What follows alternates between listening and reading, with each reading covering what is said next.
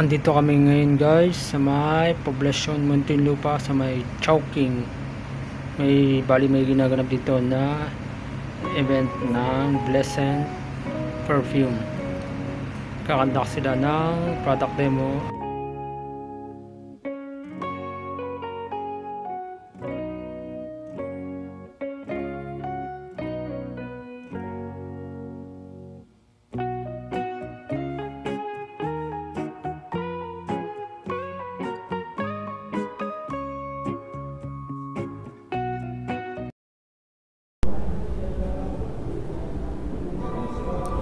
At maya maya na rin guys, malapit na rin magsimula ang event dito sa Chowking Poblasyon.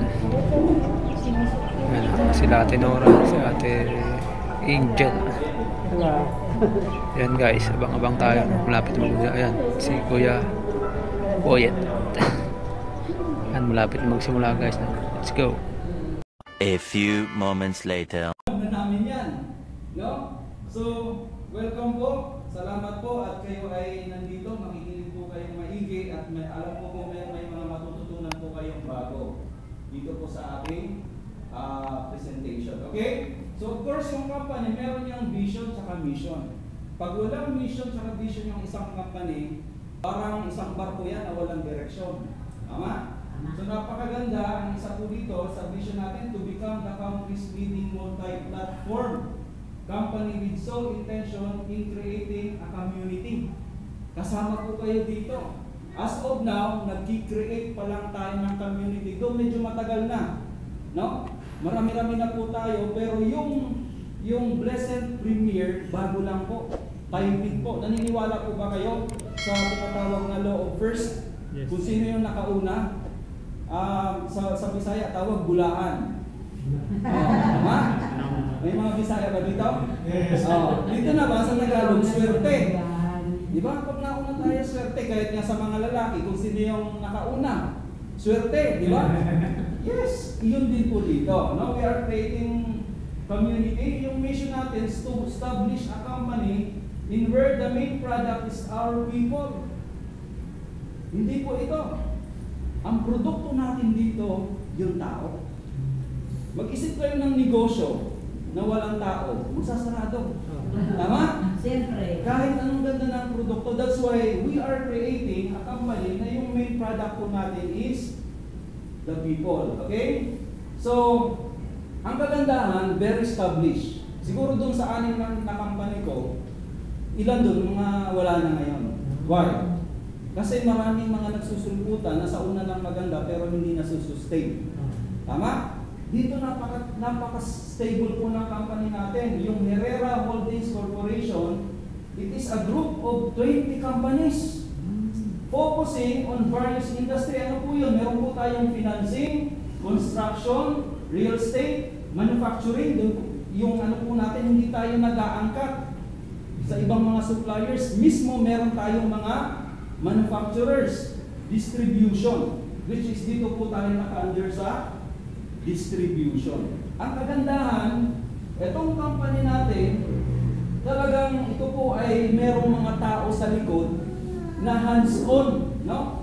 Hands-on po ito. That's why nagtatanong, Sir, bakit kaya blessed ang pangalan? No? So, while while the owners were traveling going to Manila, nag-iisip sila ng magandang pangalan. And it came up na yung bless plus yung sent. Kasi pabango. Pag sumali ka, mabibless ka. Diba? Financially, mabibless ka and pinag-combine po yun, no? At lumabas po yung pangalang blessed. Okay? So ano pa? So ito po yung message galing po sa ating company president, si Sir Mark Ryan Herrera. We started building our dreams in just a small amount of capital. Maliit lang. Nung una, from being a manufacturer of oil-based perfume, direct selling company and distributor, we have just created a world where people can turn the impossible to possible. Na, makakausap po, sino po yung naka, naka, nakapunta na side office, nakausap na yung may-ari? Ay, hindi. Hindi po nagtatago yung may-ari. Usually sa ibang company, ang makakausap mo lang, mga grand uplines. Dito, makakausap mo, makakamayan mo. Makakasabay mo pang kumain. Yung may-ari. Why? Because they started in just very small amount. Dahil hindi sila kagaya ng iba na dati ng mayaman na pinanganak na may gintong kutsara. Kagaya po natin na nagsimula sa wala na naging very successful. Okay? So ito po yung mga tao, mga may-ari sa likod po ng company. Nandito po si Sir Mark, no? Herrera, si Sir Mark Ronald Herrera, si Sir Marvin Herrera. Tatlo po yan, si Sir Mark Ryan, Mark Ronald, and Sir Marvin Herrera. Ito po yan, napakabata pa. Sa trabaho, sino po yung priority pag may nag-a-apply? Yung bata o yung may edad na? Bata. Yung bata pa kasi malayo-layo pa ang tatakbuhin ng company. Mm. That's why privilege tayo dahil yung nagdadala ng company, malawak yung vision. Meron po silang mga iniisip na mga innovation, mga pagbabago na wala dati pero ngayon meron. No?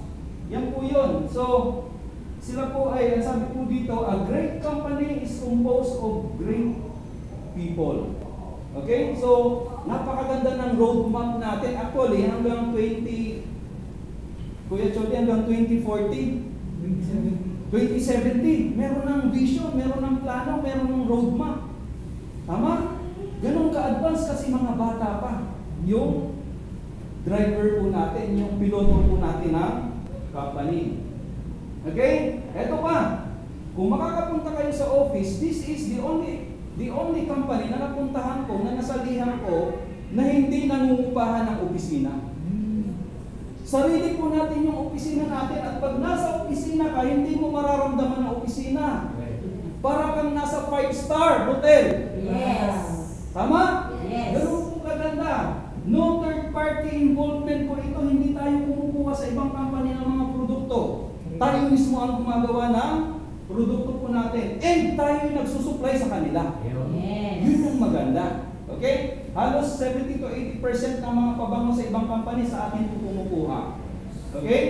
Own manufacturing plant, own facility, own four-story building with high-end amenities. Pag makakapunta po kayo sa head office natin, sobrang ganda. Yes. Kumpleto. No? Meron pa ng bilyaran doon. Habang kung may mga investors kayo na mga mayayaman, hindi kayo mahihiyang dalhin sa invest, investors room. Yes. Tama? Yes. Kasi sa ibang opisina, yung ano na, pag, pag mayaman yung dala mo, mahihiya kang papasukin. Tama? So dito, talagang magiging proud po tayo sa opisina pa lang, no? Back up with the Herrera's Holdings Corporation.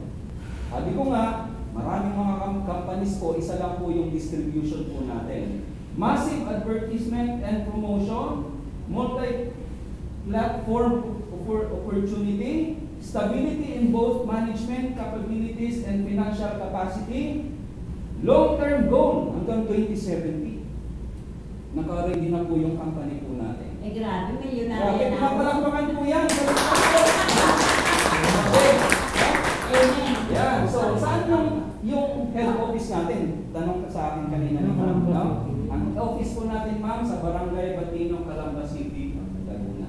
Yes. Yung napanood nyo kanina, yun po ay Dipo sa Cebu. Halos kinopya din. Oo. Kung ano yung opisina natin sa. Batino, halos ganun din po yung Cebu. Oo. Ginastusan din ng Mm. may-ari. Okay? So, ganyan po kaganda. Kaya pagdating pa lang sa background ng company, mawawala na kaagad yung duda natin. Tama? Kasi sa ibang company, bago ka maglabas ng pera, kaduda-duda yung opisina. Tama? Kaduda-duda yung may-ari, hindi mo makausap. Kaduda-duda kung sino yung mga supplier. Baka kulang-kulang pa sa mga legalities. Tama? Pero dito po, nakaplastar na po lahat yan. Wala na po tayong iisipin. Okay? So, napakalapit lang nito. Pag pagpasok mo lang sa Batino, no? Malapit na po yan. Halos magkalapit ito tsaka yung, yung Avon, no? Yung manufacturing ng Avon. Okay? So, welcome po. Ngayon, ipipresent ko po sa inyo yung ating mga produkto. Okay? Of course, naka-focus po tayo sa pabango. Since ito po yung mga, isa sa mga flagship product po natin. Sino po ba yung mahilig sa pabango? Pakitaas nga po ng kamay. Sino yung ayaw na mabango? Di ba? Gusto natin mabango yung mga Pinoy, grabe yung personal hygiene natin. After I graduated from college, nagturo po ako sa Russia, sa Sakhalin, sa taas ng Japan. No? Hindi ko nakikita doon yung ano, yung araw. Sa, sa, sa one year na pagtrabaho ko doon, hindi lumalabas ang araw. Sobrang lamig. Yung mga tao, bibihirang maligo. Malamig eh. Yung mga vodka, mga alang nagkalat sa kalsada. Kasi para mawala ang lamig, kahit nasa bus station umiinom. Para mainit sa katawan. Pero tayo mga Pinoy, kahit malamig, naliligo. Tama? Tama. Sabi sa akin, bakit pag napasok ka sa umaga, basta ang buhok mo? Kasi sa kanila, ang mga Russian, naliligo pag gagaling sa Trabaho. Pero ako, naliligo bago pumasok ng trabaho. Plus, Pabango. pabango. Hmm. Tama? Sila po nagpapabango kahit hindi naliligo. Isipin nyo ano yung amoy ng ma- ma- me- mabaho Amoy. plus sinaluan ng mabango. Yes. Tapos pagpasok sa opisina, tatanggalin to, may sabitan lang sila. Tama? So ganun po. Pero tayo mga Pinoy hindi ganon. Malinis tayo sa katawan, plus magpapabango pa, magpapabango ka pa. Ano na lang kaya yung dating mo sa tao? Tama? Kaya nga pag na may nakasalubong kang mabango, Mhm. di ba? Nakapagpikit ka. Tama. Sa sobrang bango. Alam nyo ba yung pabango? May kinalaman din po yan sa kalusugan. Pag may nasalubong kang mabaho, may stress ka. Tama. Tama? Tama. Pwede ka atakin sa puso sa amoy eh. Amoy. Pero pag merong mabango, yung scent na amoy mo, kahit stress ka, mawawala yung stress mo. Yan. Okay? Yes. So that's why, focus po ako dito eh. Bakit kailan ba nagsimula yung pabango na yan? It was all started in Egypt. Pinakauna. Tapos sumunod po yung Romans, yung Greek, napunta sa Spain. Yung mga pabango-panik po natin, galing po sa Spain ang raw materials po niyan. Napunta sa Arab nation. No? That's why magtaka kayo sa panahon ni Jesus Christ, dalawa sa regalo ng tatlong hari ay pabango. Oh. Tama? And even sa pag-ibig sa kanya, bago siya nilibing, may ibinuhos na pabango. Si Mary Magdalene, pinunas niya yung buhok niya doon sa binasag niya.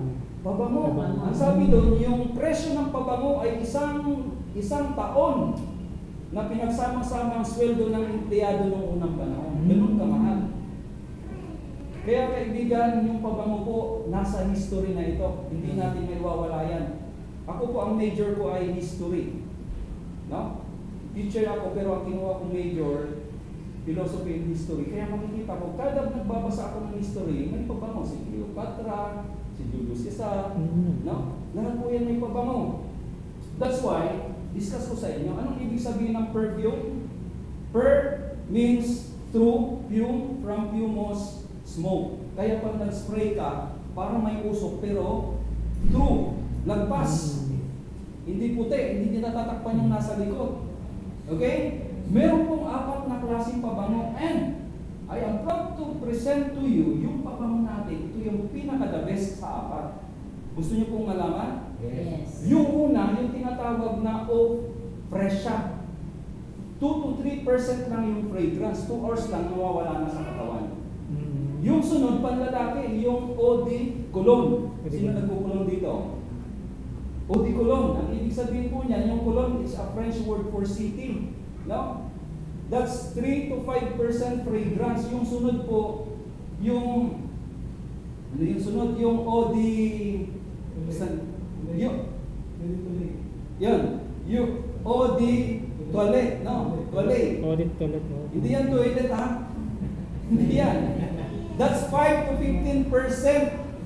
It, it only lasts for 8 hours.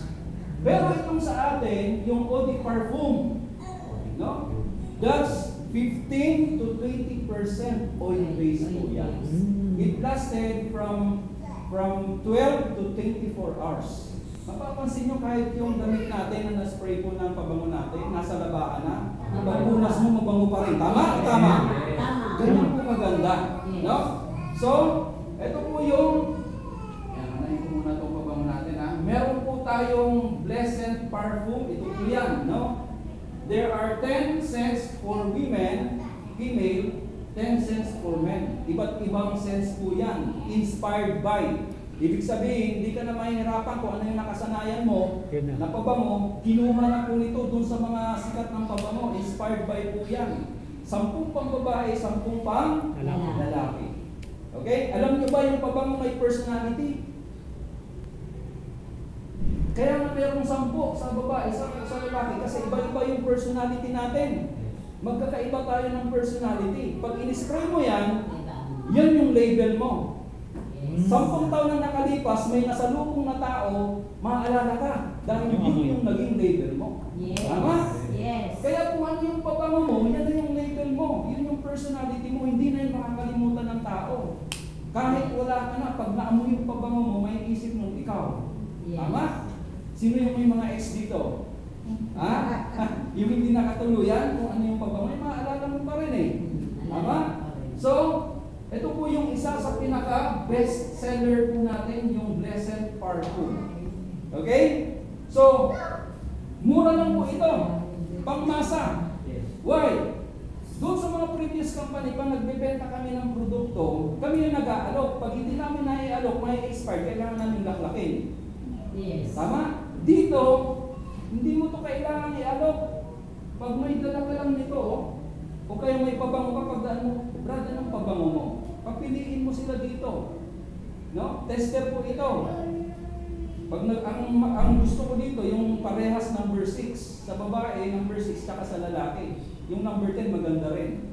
No? So, hindi pa hirapan dito yung pagbibenta. Sino po sa inyo ang ayaw, ayaw na ayaw na nagbibenta? Ha? Yung mga Pinoy ayaw na nagbibenta. Tama? Ugali natin, tayo yung bumibili. Tama? Pero dito, hindi ka mahirapan magbenta. Tama? Tama. Sila mismo yung magtatanong sa'yo kung magkano. Very affordable po ito. Okay? Pangmasa ito. Ngayon, meron kasi mga tao nang ayaw ng mura. Tama? Ang tawag naman doon, yung mga medyo nasa altas, altas sa syudad, no? No? Ito naman yung gusto nila. Yan. Yan. Papangurin po ito. No, ito pala 60 ml, ito naman 70 ml. Pero yung company, sa mga boxes pa lang, ginastusan po ng milyon. Kaya noong December, di ka nabibili ng pang balot ng regalo niyan eh. Tama? Pero sabi ko nga, may mga tao, mga professionals, mga businessmen na ayaw nila nito. Ang gusto nila yung medyo may Dating. may dating. Kasi sasabihin pa, yung pabango ko 20 mil. Ayaw ko ng 300, ano lang, 98. Tama? So ito yung pinipili nila. Ang kagandahan nito, meron pong apat na panlalaki, meron din pong apat na pambabae. Kaya, ang, anong kaibahan dito? Dito. Ito po inspired by, ito po ay walang kaparehas po yung original po yan na scent na mismo yung company lang po natin ang meron. Okay? So yan ang po, ang tawag naman po dito ay Herrera Parfum. Okay, apat din po yan, panlalaki at pambabae 70 ml. Magtatanong kayo, bakit 60 at 70? Kanina lang may kausap ako sa Ghana. Meron din sa Nigeria. Pag magpadala tayo ng more than 80% yung bigat, 80 ml, mahirapan po tayo i-ship ito sa aeroplano. Kaya business-wise, inisip din ng may-ari, dapat hindi aabot ng 80, that's why 60 tsaka 70 ml lang po yung bigat na pabango po natin. Okay? So tingnan po ninyo kung gaano kagaganda sa box pa lang, lalo na pag naamoy po ninyo yung laman po niyan. Mm. Yan. No?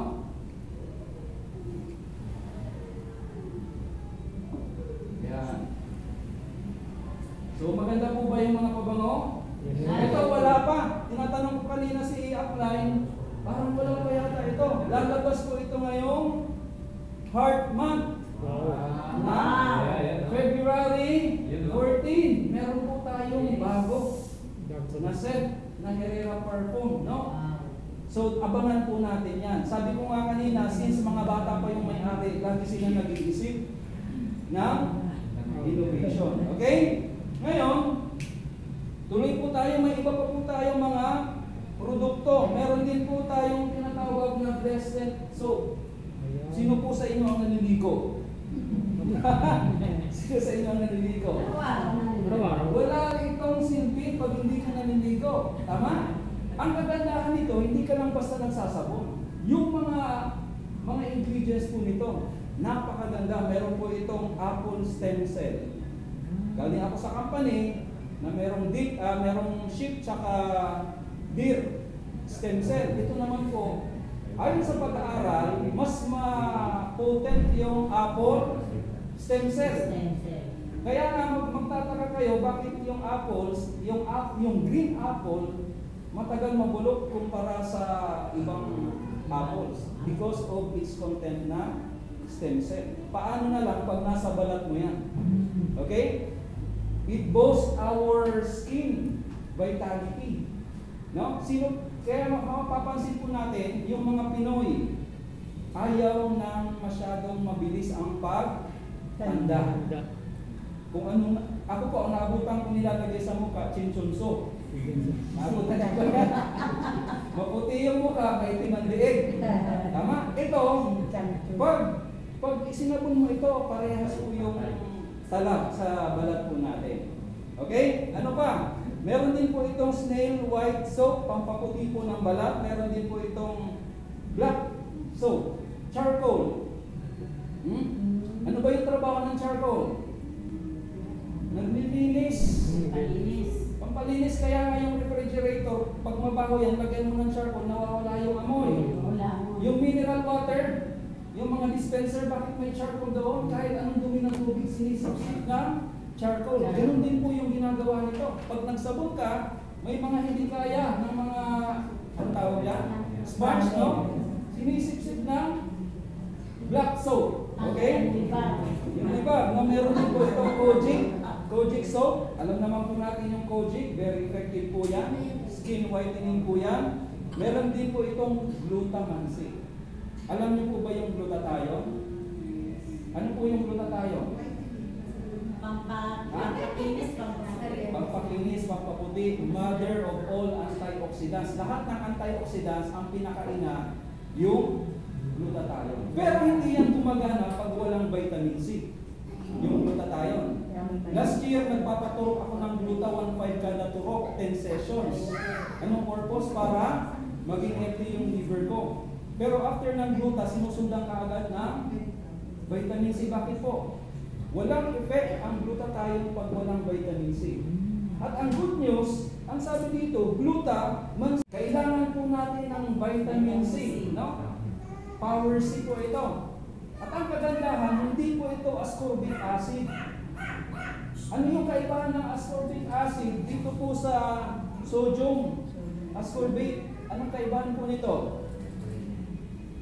Pag may ulcer ka, gutom ka, uminom ka ng ascorbic acid, makakdik sa tiyan.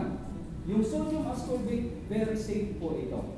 Okay? At ang kagandahan, with zinc, it will help us to boost our immune system.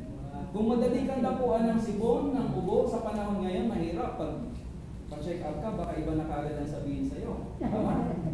So, kailangan din po natin itong power C.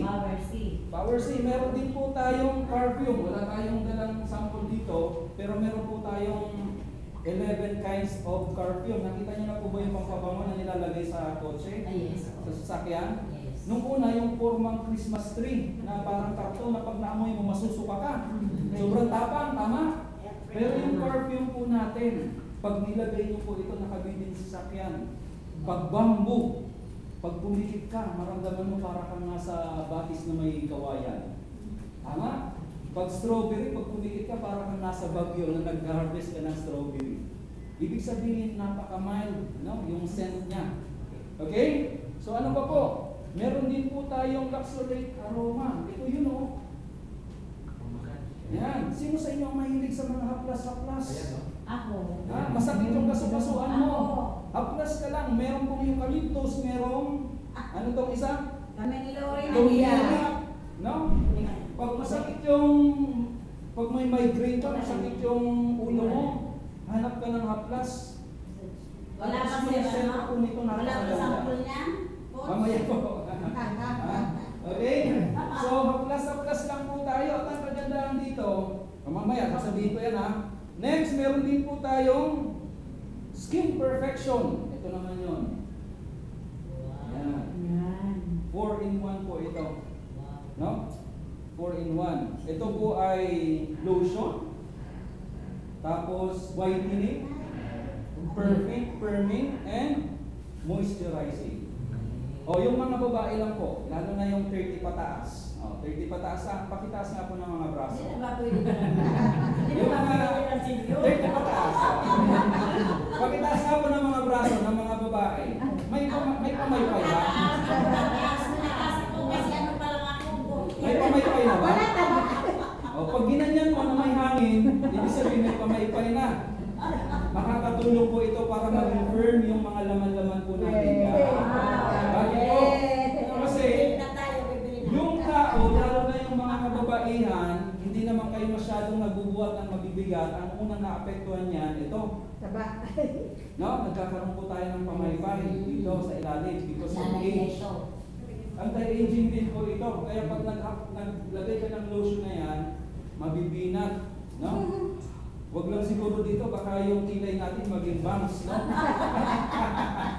okay? So, meron din po tayong hair perfection. Ito naman po ay 3 in 1 po ito. Shampoo po ito, cleanser, no? And conditioner din po siya. So, mapapansin nyo, meron pa ba? Ayan, ito. Ako gumagamit ako nito. Na- Na-influensyan ako ng wife ko. Hindi ko nasasabihin yung brand, no? Pero usong-usong ngayon yung mga tinatawag na rejuvenating set. Ayan. Tama? Yes. Maghilamos ka sa gabi. Ayan. Pagkahilamos mo, may tinatawag na toner. Toner. Tapos makita mo, maitim na yung cotton. Ibig sabihin, ang daming dumi sa hangin. Libag. Paggabi, ilalagay mo na yung panggabi na cream. Cream. Pagka umaga, hilamos ka ulit, toner, bago ka magpapainit, o huwag ka magpainit, maglalagay ka naman ng sunblock. Sunblock.